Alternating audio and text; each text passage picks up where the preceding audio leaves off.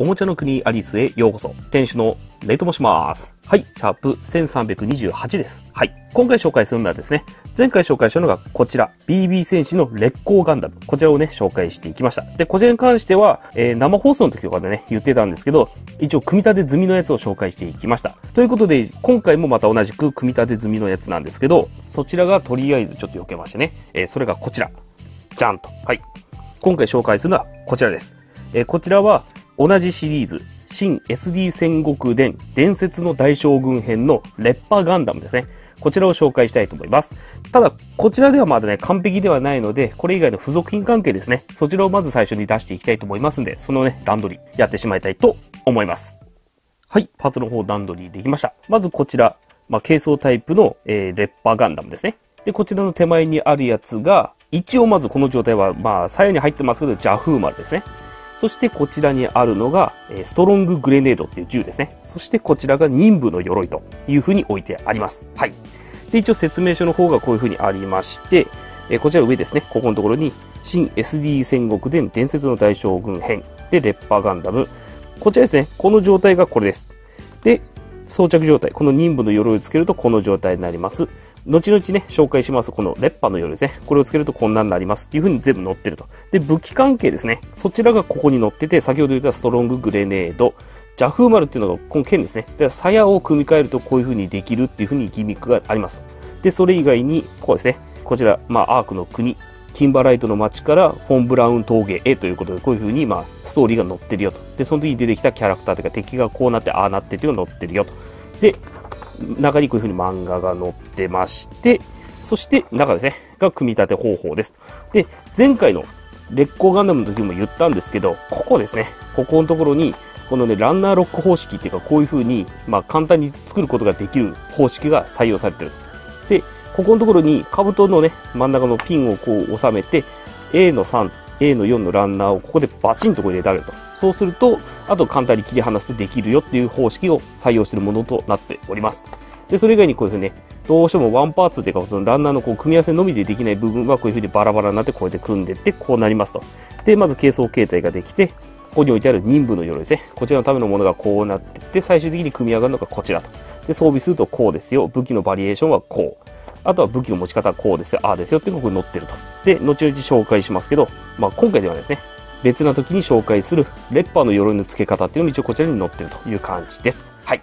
ということで早速、えこちら紹介していくんですけど、まずこの状態ではまず完成してないので、とりあえずこの状態で、この任務の鎧のここですね、この側面のここから、鍵爪と、えこちらのね、こう2つですね、鍵爪とこちらの鉄鋼剣ですね、これを外しますよと。で、これをこちらのところにつけてあげて、左手の方にこちらの鉄鋼剣をつけて、これでとりあえず手につけたよと。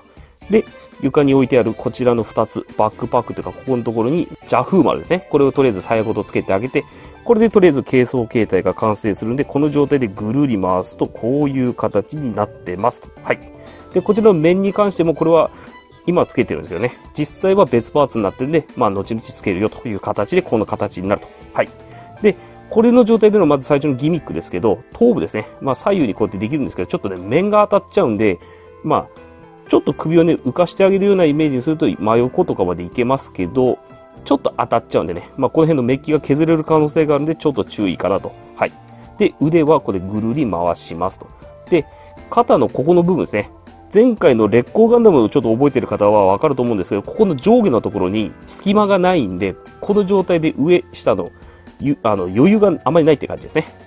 で、手首とかの可動はないです。まあ、古いやつですからね。で、烈光ガンダムになかったギミックとして腰のひねりですね。これがありますよと。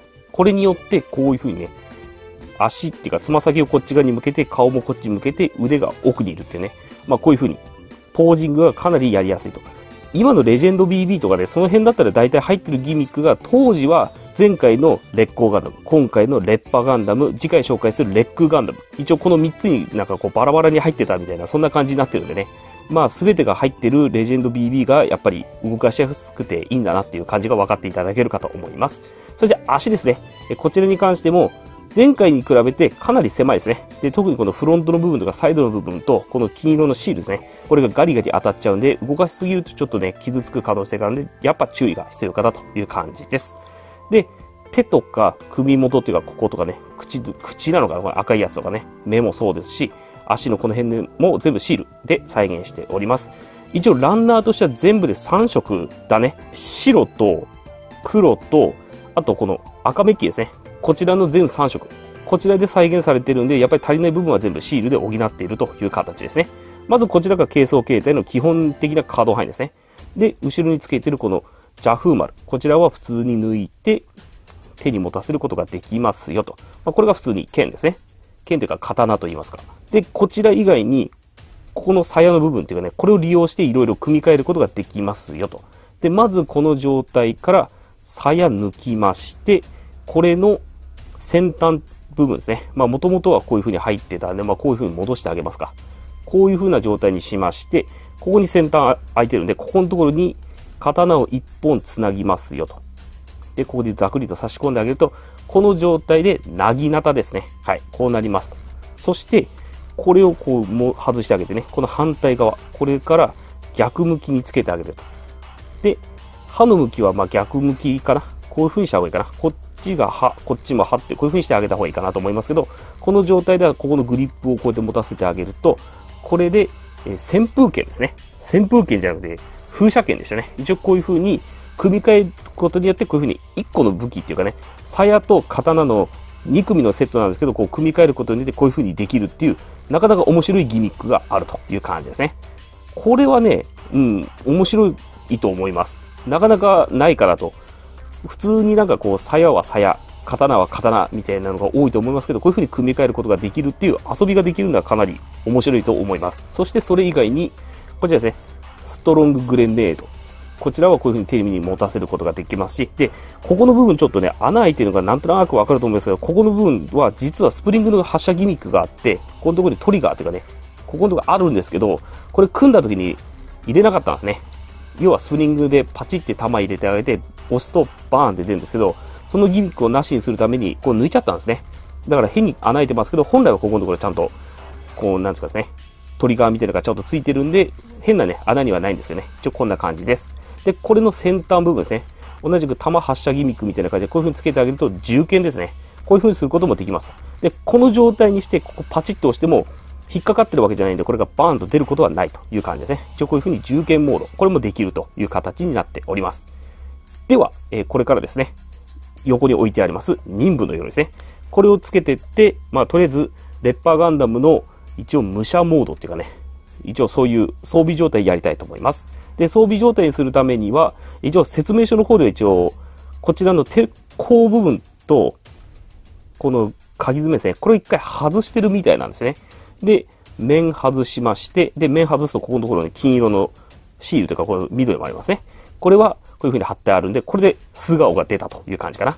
で、この状態で、こちらの任務の鎧から兜と、えこちらの肩アーマーと、これですね、フロントを外すと。で、ここのところに一応任務って書いてあるんですけど、一応説明書の通りで組むと、ここに鍵爪とこれは戻しといた方が紛失防止になるかなと思うんでね、一応こういう風にしておいた方がいいかなと。はい。そして、こちらの素体の方に、えー、こちらですね。まあ、シールがですね、前面と背面、両方貼ってるわけじゃないんで、このシール貼ってるやつが前って覚えておけば、まあ問題ないのかなということで、そのまま上からパチンと。で、反対側も同じく、ここのところにパチンと入れてあげます。そして、フロントですね。ここのところにざくりと差し込んであげて、あと、兜を取り付けますと。はい。こんな感じですね。で、こうつけたんですけど、後ろぐるっと回すと、ここのところにもう一個ね、四角い穴があるんで、ここに面ですね。これをつけておくことで、面を、まあ、紛失することはないと。こういう感じにできるよと。はい。これで任務の鎧をつけましたと。で、可動範囲なんですけど、まあ、頭部の可動はやっぱり肩とかに当たっちゃうんで、ちょっと制限されますよと。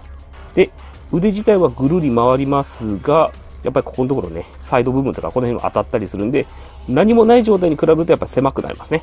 ただ足の可動域は変わらないんですが、腰のひねりがちょっとね、このフロントっていうかこの前面の鎧、これにちょっと当たるっていうかね、それによってひねることによって足が当たっちゃうんで、腰の可動域がちょっと制限されてしまうっていう弱点はちょっとありますね。ただ一応こんな感じ。ギミックとしてはこのね、ジャフーマルとこの鞘のギミック、なぎなたとか風車剣。こちらに関しては基本的に変わっておりません。で、こちらのね、ストロンググレネードを持たせて、こう、どうのっていうのも、これも基本的に変わってないんで、武器関係のギミックは全く変わらないんですけど、どうしてもね、やっぱり可動域がちょっと制限されるっていうかね、その辺でちょっと動かしにくくなるかなと。で、後ろのこの鞘の部分と面がやっぱ当たっちゃうんでね、これもやっぱり可動域を制限させる原因になってしまうんで、フル装備にすると、まあ、もともとっていうかね、軽装状態っていうか、そちらと比較するとちょっと狭くなるかなっていう弱点はありますで、最初の方にお見せした説明書。今この状態で説明書っていうかね、あの中に書いてある完成形はこうなんですけど、これを見ていただくとね、任務の鎧装着ってやると、ここの鍵爪とさ、鉄鋼剣ついてるんですね。で、再度中身を見ますと、えー、これを見ていくとね、えー、ここですね。はい、これです。レッパーガンダム任務の鎧装着。これ見ていただくとね、えー、軽装タイプから忍び仮面、鍵爪、鉄鋼剣を外したものというふうに載っております。なので、説明書の通り組むと、このパーツなしなんですけど、ここのね、イラストを見ると完全についちゃってるんで、別にこれに関しては、これ付けっぱなしでもいいんじゃないかと思うんですよね。なので、ここの鎧台座っていうかね、こちらの方からこれ外してしまって、もともとずっとね、付けっぱなしでいいと思います。その方が、こうつけて、これを持たせてあげると、余剰品は前回と同じ劣行と、まるっきり同じ形で余ると。これだけ余ってしまうっていう、この形の方がね、やっぱりスッキリすると思うんですよね。余計にこれだけこっちに戻してってやるよりは、この状態の方がね、さっぱりすると思うんでいいと思います。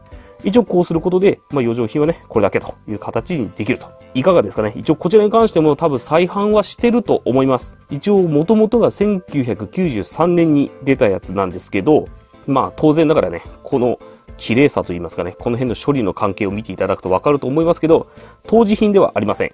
一応再販かな再販の再販ではないはずなんで、再販のやつを確か買って組んでってやったはずなんでね、一応こういう風になったという形になっております。一応こちらが BB 戦士の烈破頑駄無という形です。はい。で、えー、一応ね、気づいた方は気づいたと思いますけど、今回ちょっとね、レンズをね、あの、カメラのレンズ、ちょっと違うやつを使ってみました。今現状使ってるカメラの EOS8000D ってやつの、えー、ダブルレンズキット。こちらの方のね、えー、標準ズームレンズっていうか標準レンズの方の1855ってやつをつけたんですけど、通常時使ってるこちら、これ高いレンズなんですけどね、こちらのレンズ。えー、こちらが、えー、1585っていうこのレンズなんですよね。これです。EFS1585 ってこのレンズと比べて、あの、ピント合いがね、ものすごく悪かった。あの、今この現状、今、こう置いて、ピント合わせていってやると、やっぱりこのズームでね、結構時間かかるんですよね。